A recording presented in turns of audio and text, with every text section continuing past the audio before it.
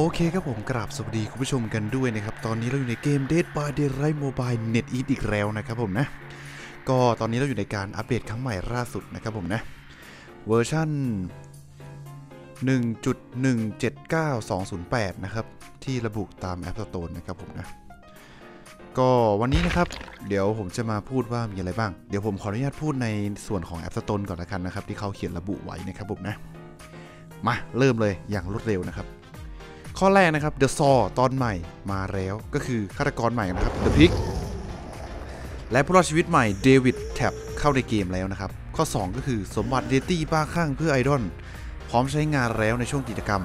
มีโอกาสได้รับ skin เงินและ skin ทองใหม่จากสมบัติ Identity Mad Doctor สำหรับ The Doctor และสไตล์เคป๊อปสำหรับ Jake Parkข้อที่ 3 นะครับ Mori แอนิเมชันใหม่มาแล้วในช่วงกิจกรรมมีโอกาสได้รับ Mori แอนิเมชันใหม่ของ The Doctor ผ่านการสวมใส่ skin platinum นะครับ ก็ต้องเป็น skin platinum เท่านั้นนะครับผมนะ โอเคไปเดี๋ยวไปแบบละเอียดต่อนะครับ อันนี้แค่ระบุใน App Store เฉยๆนะครับ ไม่มีอะไร ถ้าแบบละเอียดก็คือตามที่เพจเขาได้เขียนไว้นะครับ เดี๋ยวผมจะอ่านแบบรวดรัดเอ่อรวบรัดให้คุณผู้ชมแบบได้เข้าใจกันพร้อมกันนะครับ ก็อะเริ่มที่ข้อแรกนะครับ สมบัติ Identity บ้าคลั่งนะครับ ก็สมบัติ Identity มาใหม่ใช่ไหมครับผม แล้วก็อัปเดตร้าน skin นะครับ มี skin ใหม่มา พวกราคาเป็นเซตอะครับที่แยกชิ้นก็มีนะครับ ลองไปหาดูกันได้ ข้อ 3 ก็คืออัปเดตแพ็ครวมพิเศษนะครับ อันนี้ก็น่าจะรู้กันอยู่แล้วเนาะ มันจะมีระบุให้อยู่ลองเข้าไปเช็คดูก็ได้นะครับผมนะ ไม่ได้สำคัญอะไรมาก แล้วก็อีเวนต์ไล่ล่าเลือดสุดสัปดาห์นะครับผมนะ22 กรกฎาคมถึง 24 กรกฎาคมนะครับ ปรับปรุงประสบการณ์นะครับ ลดความยากของพิธีกรรมประจำวัน ย้ายภารกิจที่ยากและบรรลุอะไรวะนะ่ะย้ายภารกิจที่ยากจะบรรลุไปไว้ที่พิธีกรรมประจำสัปดาห์ทำไมใช้คำอย่างนี้วะเนี่ยข้อ2นะครับปรับปรุงการแจ้งเตือนการup level และ up ขั้นทำให้ผู้เล่นสามารถสังเกตเห็นได้ว่าเลเวลและขั้นไม่มีการเปลี่ยนแปลงก็ bug อะครับผมนะ ต่อไปแก้ไขปัญหานะครับ โอ้โห 13 ข้อเลยวะเนี่ย ข้อแรกนะครับ แก้ไขปัญหาการแสดงท่าทางผิดพลาดของ skin เริ่มต้นของ The Doctor นะครับ แล้วก็แก้ไขปัญหาการแปลผิดพลาดของอุปกรณ์เสริม The Spirit แก้ไขปัญหาที่ปรากฏตัวเลือกโซนในบอร์ดอันดับเสน่ห์ของเซิร์ฟญี่ปุ่น แก้ไขปัญหาในการแสดงผลผิดพลาดของไอคอนผู้รอดชีวิตและฆาตกรในหน้า interface รางวัลซีซั่นและ rank นะครับ หน้าโปรไฟล์เนาะประมาณนั้น แก้ไขปัญหาที่คำอธิบาย perk แสดงว่าเป็นขั้น 2 ในขณะที่ปลดล็อก perk ถ่ายทอด แล้วก็ข้อ 6 แก้ไขปัญหาที่สามารถยืนอยู่บนกำแพงได้ในพื้นที่บางส่วนของหอถ่านหิน แก้ไขปัญหาที่แสดงตำแหน่งของผู้รอดชีวิตผิดพลาดเคลื่อนที่ไม่ได้ในสถานที่บางส่วนของตรอกแรมคินแก้ไขปัญหาที่แสดงไอคอนไอเทมสูญเสียไปในหน้า interface สรุปผลของฆาตกรในบางกรณี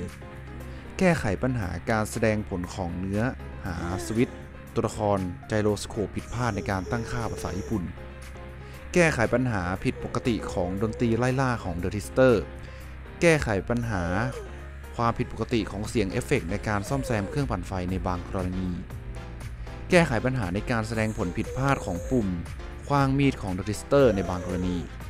แก้ไขปัญหาที่ยังคงแจ้งเตือนตำแหน่งเมื่อได้รับบาดเจ็บ ในขณะที่ติด skin ระดับหายากใจแกร่ง รู้สึกจะ bug เยอะเอาเรื่องนะครับ แล้วก็รอบนี้ก็แก้ไป 13 ข้อเนาะอะก็ตัวละครใหม่นะครับอย่างที่พูดกัน The Pig กับผู้รอดชีวิตเอ่อนักสืบ Tapp แล้วก็ปรับความสมดุลของ The Trickster นะครับเอาแล้วปรับพลังนะครับจำนวนมีดจะทำให้ผู้รอดชีวิตได้รับบาดเจ็บหรือใกล้ตายจาก 8เหลือ 6จำนวนมีดพก พื้นฐานจาก 60 ลดเหลือ 44 มิเตอร์การฉีกขาดการโจมตีทั่วไปเมื่อตีโดนจาก 4 ลดเหลือ 3 เร่ง speed เวลาลดลงและความเร็วลดลงของมิเตอร์การฉีกขาดของผู้รอดชีวิตจำนวนมีดที่โจมตีโดนในการเปิดใช้อีเวนต์หลังจาก 20 เพิ่มเป็น 30 นะครับ เวลาที่ลดลงของสถานะ ใช้ได้ในอีเวนต์หลังจาก 10 วิ ยืดเป็น 30 วินะครับ ปรับอุปกรณ์เสริมนะครับ พวกการ์ดถ่ายรูปสีรุ้งนะครับผู้รอดชีวิตที่ยังขาดมีดอีก 2 ครั้ง เติมเดิม 1 ครั้ง ก็จะเติมมิเตอร์การฉีกขาดทำให้ได้รับผลกระทบนะครับ จากสถานะอันตรายขณะเดียวกัน ก็ลบเอฟเฟกต์บาดเจ็บหรือใกล้ตายจากมิเตอร์การฉีกขาดออก แล้วก็น้ำอัดลมฟูฟ่องนะครับจำนวนมีดที่ขว้างถึงความเร็วสูงสุดลดลง 2 เดิม 3 ถุงพยากลนะครับจำนวนมีดเริ่มต้นและพกพาเพิ่มขั้น 4 เดิม 10 เพิ่มขึ้น 4 นะครับ เดิม 10 งูเปื้อนเลือดนะครับจำนวนมีดเริ่มต้นที่พกพา 8 เดิม 15 รวมความตายอันรวดร้าวทำใหม่นะครับ เมื่อสิ้นสุดความตายอันรวดร้าวจะเติมมีดทั้งหมดให้ฆาตกร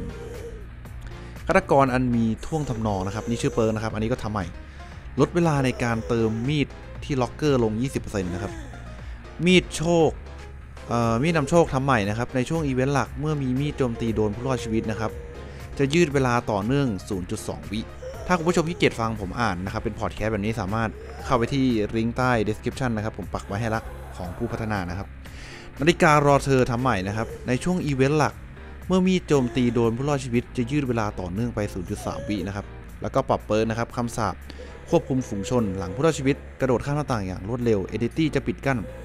14 17 20 วินะครับ 14 หรือ 17 หรือ 20 วิ เดิม 10 12 14 นะครับ หลายทางออกชื่อเปิร์กนะครับ เงื่อนไขที่ทำให้เกิด Entity ปิดกั้นสวิตช์ประตูทางออก เปลี่ยนเป็นเมื่อผู้รอดชีวิตปฏิสัมพันธ์กับประตูทางออก ข้อ 3 ครับ ปรับปรุงการแจ้งเตือนสถานะของผู้รอดชีวิตนะครับ แสดงภาพเหมือนตัวละครโดยตรง เพื่อให้สะดวกต่อการยืนยันสถานะปัจจุบัน สกินซิ l เวอร์โกลแพตินัมแสดงผลภาพเหมือนพิเศษ เพิ่มการแจ้งเตือนจำนวนตะขอที่มีเพียงผู้รอดชีวิตที่เห็น มันจะกระตุกไหมเนี่ย เพิ่มการแจ้งเตือนความคืบหน้าของฆาตกร โอ้ รอบนี้ก็เพิ่มเยอะเนี่ย เพิ่มการแจ้งเตือนจำนวนตะขอที่มีเพียงฆาตกรที่เห็น เพื่อให้ใช้ในการวิเคราะห์ความคืบหน้าของเกมปัจจุบัน เพิ่มการสลับการควบคุมระหว่างวิ่งกับเดิน เออ เพิ่มวิธีการควบคุมใหม่หนึ่งชุด สามารถแตะที่ปุ่มเพื่อสลับโหมดวิ่งเดินได้เอ้ย จริงปะเนี่ย เดี๋ยวลองดู การควบคุมเริ่มต้นจะไม่เปลี่ยนไป สามารถเลือกโหมดใหม่ในนี้ได้หน้าการตั้งค่านะครับ เพิ่มการสลับโหมดแจ้งเตือนการตรวจเช็คเอ่อเปิร์กสามารถเลือกการแจ้งเตือนที่เหมาะสมกับตัวเองได้ในขณะการตั้งค่าระบบ แก้ไขปัญหาที่อาจติดเปิร์ก อีกครั้งเมื่อเชื่อมต่อเนื่องจากหลุดในของฮะเนื่องจากหลุดในของเปิร์กบางส่วนอะไรครับเนี่ย น่าจะหมายความว่า เนื่องจากหลุดของเปิร์กบางส่วนนะครับ แก้ไขปัญหาที่เส้นผมแสดงเป็นเม็ดๆในโหมดภาพคุณภาพต่ำเออ อันนี้ก็ดีนะครับ ปรับปรุงการแสดงผลเอฟเฟกต์พิเศษแดนฝันของ The Nightmare นะครับในตอกแรมคิน แก้ไขปัญหาในการแสดงผลผิดปกติของ Skin the Region นะครับ Party Forest ในโหมดชมศึก แก้ไขปัญหาที่ The Nerd ไปสามารถใช้งานการบิงได้ในสถานะพิเศษ สถานการณ์พิเศษสถานการณ์ไหนวะ ผมเห็นบิงติดหมดเลยนี่ ปรับปรุงการแสดงผลการปฏิสัมพันธ์ในการระหว่างการซ่อมเครื่องออซ่อมแซมเครื่องปั่นไฟนะครับของผู้รอดชีวิต และปรับปรุงไฟด้านบนของเครื่องปั่นไฟไฟกระพริบข้างบนหรอมั้งที่เป็นเสายาวๆอะครับ อะแล้วก็เนื้อหาด้านบนทั้งหมดจะต้องทำการอัปเดต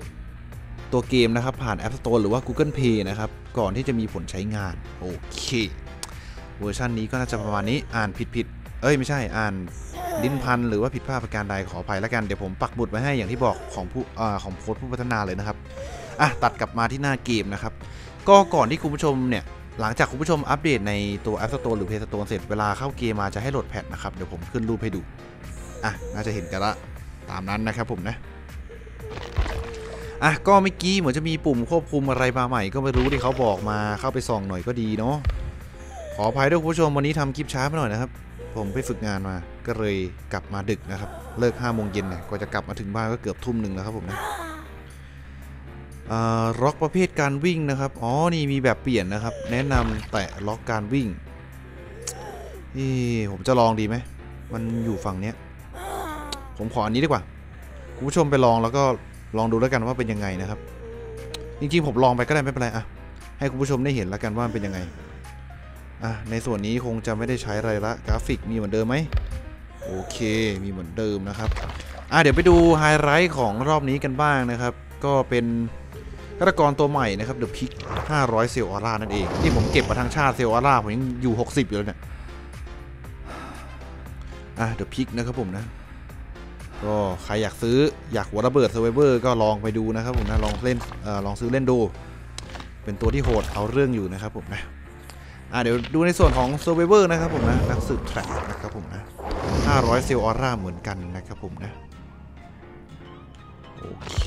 ชุดก็ไม่มีนะครับอะประมาณนี้นะครับคุณผู้ชมก็ เดี๋ยวเราไปรีวิวกันด้วยนะครับ ก็เดี๋ยวไปดูสกินใหม่กันด้วยนะครับ สมบัติ Entity นะครับแป๊บนึงนะครับ เดี๋ยวผมเข้าที่หน้านี้ไปเลยละกันหน้าอีเวนต์นะครับ อะ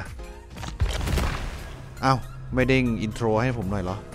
โอเค สุ่มฟรี 10 ครั้งนะครับ เดี๋ยวผมกดสุ่มเลย มาครับ ยังไงก็เกลือคุณผู้ชมไม่ต้องห่วง ไม่ได้หวังอะไรเลยผมใครมันจะสุ่มรอบแรกได้สกินทองสกินเงินวะหรือมันมี อันนี้ก็ไม่รู้บางคนสังบางคนสงสัยว่าไอเหรียญที่ได้เนี่ยเอาไปทำอะไรวะให้มาอยู่นั่นแหละอ๋อเดี๋ยวผมจะบอกนะครับ บางคนยังไม่รู้แล้วก็ยังทำไม่เป็นนะครับ ก็เดี๋ยวบอกอะนี่สกินสุ่มไปแล้วครับมีแพตตินัมมันล่างปะอ่าใครมีตังค์รวยๆนะครับ เติมเซวาร่าวิสกินเจ็คปาร์คแพตตินัมสวยนะเนี่ยนี่ผมปรับภาพต่ำนะครับ เลยไม่ค่อยชัด แต่ว่าเท่มากสกินเจคปาร์ค แต่ผมคงไม่มีปัญญาครับผมนะดูจากทรงแล้วโอเคก็เมื่อกี้นะครับสำหรับคนที่สงสัยว่าเฮ้ยได้พวกไอเหรียญพวกเมื่อกี้มาจากสุ่มสกินเกลือเนี่ยมันทำอะไรได้บ้างอะยกตัวอย่างนะครับ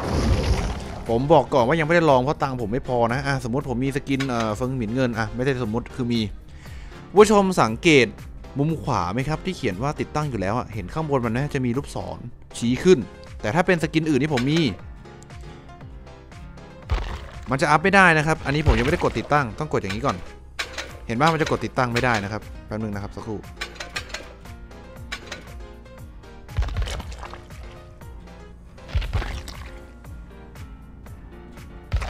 อ้าวกดได้เฉย อะไรวะ ปกติมันกดไม่ได้ไม่ใช่หรอวะ อะไม่เป็นไร อะเอาเป็นว่าคุณผู้ชมกดลูกศรขึ้นนี้ครับผมนะ มันก็จะมีให้อัพเป็นแพลตินัมนะครับ คุณต้องได้สกินที่เกี่ยวข้องกันก่อน สกินทองครับผมนะ ก็สามารถแลกเป็นสกินแพลตินัมได้นะครับ แต่ว่าต้องใช้ 2,500 เหรียญนะครับ ผู้ชมไปเก็บสะสมมา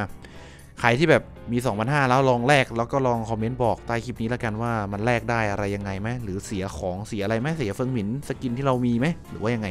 อันนี้ผมยังตังไม่พอนะครับ ถ้าตังพอเดี๋ยวจะมาบอกอีกทีหนึ่งละกันนะครับทำไม patch ที่แล้วมันกดแล้วไม่มีวะตรงเนี้ยสกินอื่นอย่างเงี้ย patch นี้ทำไมมันมีวะปกติมันไม่มีใช่หรอวะหรือมันกดให้อยู่แล้ว อะไม่เป็นไรไม่เป็นไร เดี๋ยวค่อยว่ากันคุณผู้ชมก็มาแชร์กันได้ที่ใต้คลิปแล้วกันเดี๋ยวตานี้จะเล่นลงบินไปก่อนนะครับ โอเคอะน่าจะชุดนี้แหละครับ set perk อะประมาณนี้อะโอเค น่าจะไม่ตกหล่นอะไรนะครับ เพราะที่เหลือมันก็ไม่ได้มีอะไรเมื่อกี้ปุ่มแบบใหม่ก็เดี๋ยวเข้าไปลองเมื่อกี้ผม setting แล้วใช่ไหมดูดิล็อกการวิ่งแบบใหม่เออเดี๋ยวไปลองให้คุณผู้ชมดูนะครับว่าเป็นยังไงโอเคเดี๋ยวเราไปเจอกันในเกมเลยครับผมคุณผู้ชม โอเคครับผมเราอยู่ที่ด่านที่อยู่อาศัยของครอบครัวที่ดินตระกูลยาโมกะนะครับ อยู่ในโหมดแข่งขันด่วนอ้อผู้ชมสังเกตด้านบนป่ะเป็นรูปไอ้นี่เลยนะครับ เป็นรูป survivor เลยอะไม่ได้เป็นรูปตัวสีขาวๆอะครับ เป็นแบบสัญลักษณ์คนสีขาวเป็นรูปตัวละครเลยเราจะเจอ The Pig ป่ะน่าจะไม่เจอละตัวอะไรวะ Trickster นะครับ ปรับใหม่นั่นไงอย่าเพิ่งไปส่องมันสิ อุ้ยทำไมขีดขึ้นเยอะจังวะผมโดนไปอันเดียวเองไม่ใช่เหรอวะเปลี่ยนสัญลักษณ์ใหม่นะครับนึกว่าเกมอื่นเลยอุ้ยล้มแล้วเหรอทำเร็วจังวะแอดออนเหรอแล้วที่มีขีด 2 ขีดคิดว่านะครับ น่าจะเป็นเสา1เสา2มั้งน่าจะนะครับ เดี๋ยวรอดูเพื่อนเรา ถ้าใช่น่าจะขึ้นขีดสีขาววันแรก โอเคใช่นะครับคุณผู้ชมสังเกตเห็นไหมมีขีดสีขาวอันหนึงสวยผ่านไป ยังไม่เจอเดอะพิกนะครับ น่าจะยังไม่มีคนมีตังค์ซื้อนะ เห็นเขาบอกว่าอัปเดตใหม่กระตุกคุณผู้ชมกระตุกกันไหมคอมเมนต์บอกกันได้นะครับ พร้อมสเปคโทรศัพท์มือถือนะครับ ว่ายังไงแบต68 นะครับ 67 ละ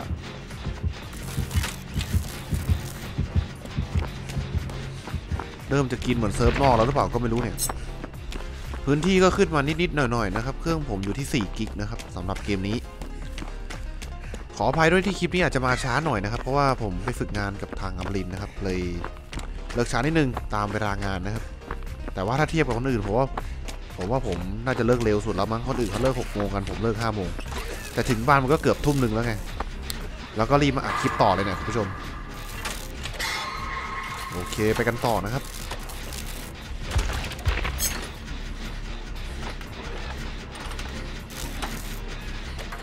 สัญลักษณ์ใหม่เพียบเลยเออนึกว่าจะเจอเดอะพิกนะครับ อัปเดตใหม่ แล้วก็ผมใช้ปุ่มเดินใหม่ด้วยเห็นไหม มีรูปวิ่ง รูปเดิน รูปนั่งนะครับ ก็ถือว่าสะดวกสบายนะครับ แต่ว่าผมจะปรับกลับเป็นแบบเก่าแหละ ไม่ค่อยอยากให้มีปุ่มเยอะนะครับ เดี๋ยวมือมันไปโดนแล้วมันจะไม่โอเคนะครับผมนะ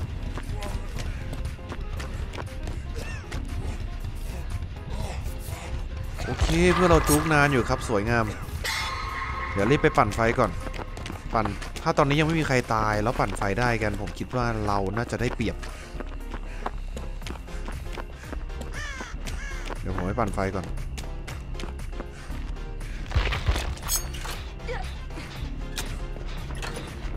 มาแถวนี้เหรอสเตอร์ปรับใหม่คนเลยเล่นมะน่าจะเล่นง่ายขึ้นหรือว่าเล่นยากขึ้นคุณผู้ชมก็คอมเมนต์บอกกันได้นะครับสำหรับทิสเตอร์ว่ายังไง ผมยังไม่ได้ซื้อตัวนี้เลยไม่รู้นะครับ แต่เห็นแพทก่อนหน้านี้เขาบ่นกันว่าแบบทิสเตอร์เล่นยากว่าหันหน้าจอยากอะไรอย่างนี้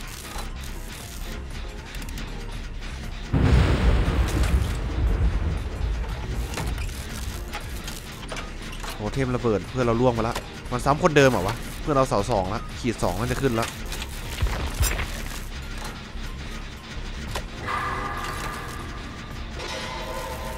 โอเค เดี๋ยวปั่นไฟไปก่อนครับ ไม่เป็นไรขีดสองขึ้นไปดีรอบหน้าไม่มีแล้วนะครับ รอบหน้าเพื่อเราลอย มันไม่เป็นไรคนอื่นบ้างวะ ไปนู่นล้ว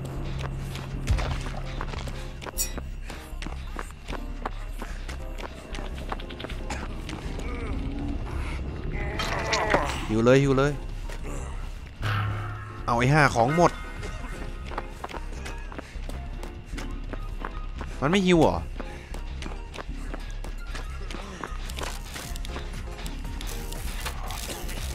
จิตใจใจคอคือจะไม่หิวเลยใช่ไหมเนี่ย มันจะทันเหรอเพื่อน ปั่นเครื่องสองเข้าไปทันอยู่ดีหิวก่อนดีไหมเฮ้ยเฮ้ยเฮ้ยบอดปะเนี่ย น่าจะบอดแล้วล่ะ การเล่นแปลกๆแบบนี้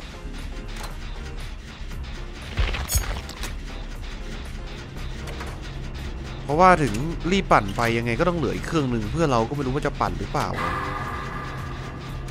ไปอยู่แถวนั้นผมวิ่งไปก็เกะกะเปล่าครับปั่นไฟไปก่อนอุ้ยมันจะเสาสองครับไม่ได้ไม่ได้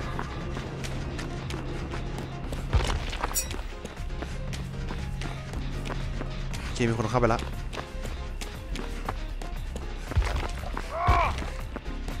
อะตายหนึ่งนะครับ เหลือสามเครื่องนี้ห้าสิบเปอร์เซ็นต์ไม่รู้อีกเครื่องหนึ่งได้ปั่นไว้ไหม ถ้าไม่ได้ปั่นไว้น่าจะไม่ได้ปั่นไว้แหละวิ่งมาตรงนี้กันสองคนเนี่ยเพื่อนต้องเปลี่ยนเครื่องปั่นแล้วล่ะ บอดกันหมดเลยปะเนี่ย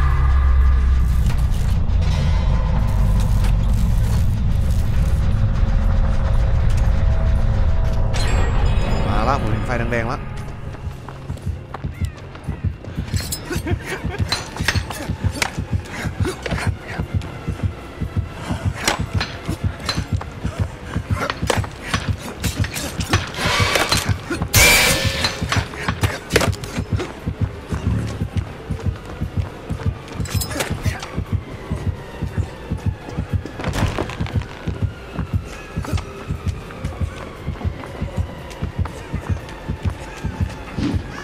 ดึงมาตรงนี้ให้แล้วนะ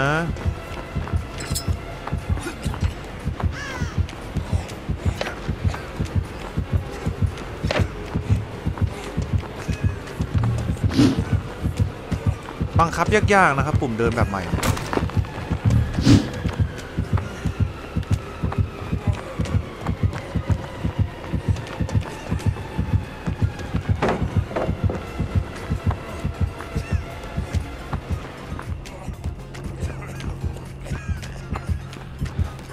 เดินแปลกๆนะครับ มันวิ่งไง มันวิ่งอย่างเดียวผมเลยไม่ชินเก็บมีดละ วิ่งยาวเลย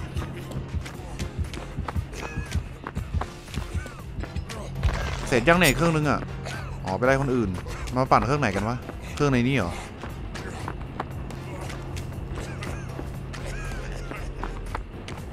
ต้องรีบหายเครื่องให้เจอว่ะ เครื่องในนั้นเหรอ น่าจะในนั้นแล้วล่ะดูจากทรง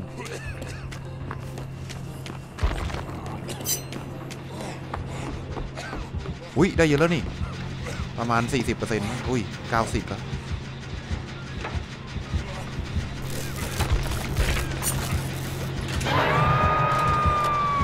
ไปก่อนนะ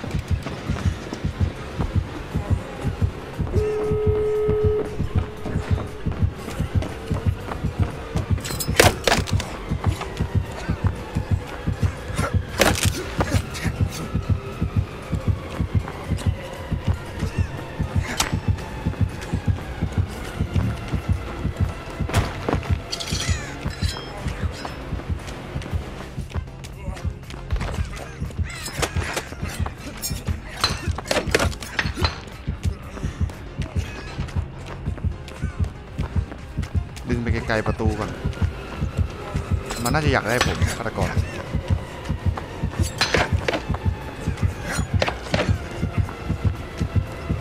นี่อุตส่าห์ดึงให้สุดๆแล้วนะเนี่ยเอ้ยโอ้โห ไม่ได้ ว่าจะมุดซะหน่อย มีโนวันด้วยนั้นน่ะ ระเบิดโทเทมมาล้วน่าจะออกสองได้อยู่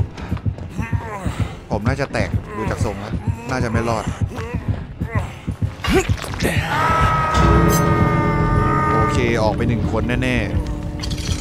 ๆ ไปแล้วยังแหมไม่ต้องเหลียวกลับมามองเปิดประตูขนาดนั้นละออกออกไปเถอะ อย่าไปซ่านหน้าประตูถ้าไม่ได้จู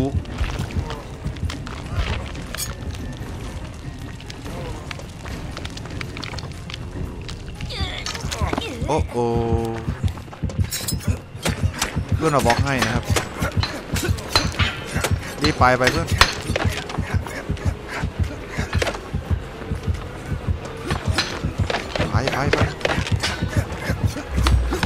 มึงก็ไปบล็อกให้เพื่อนดีคนนึงอะ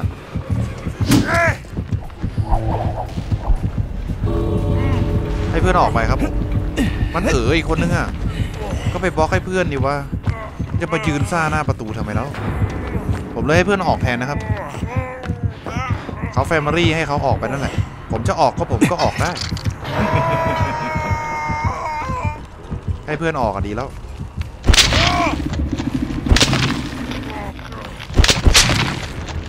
โอ เคจบเกมครับ ถือว่ากินแบตเอาเรื่องคุณผู้ชมสังเกตแบตตั้งแต่เริ่มเกมเลยเครื่องก็เริ่มร้อนๆนะครับผมนะอีกไม่นานคงจะเหมือนเซิร์ฟนอกแหละแต่ระบบน่าจะเยอะกว่าเซิร์ฟนอกแล้วก็ใหม่กว่าเซิร์ฟนอกเยอะนะครับเขาเรียกว่าไฮเทคกว่าเซิร์ฟนอกดีกว่าครับถ้าพูดตามตรงนะครับโอเคครับผม แล้ว bot สองตัวมีการหัวร้อนเกิดขึ้นนะคนที่มาช่วยผมใจเย็นใจเย็น ห้าห้าไปห้าห้าไปอ้าวผู้หญิงเหรอจริงปะเนี่ยใช่ปะ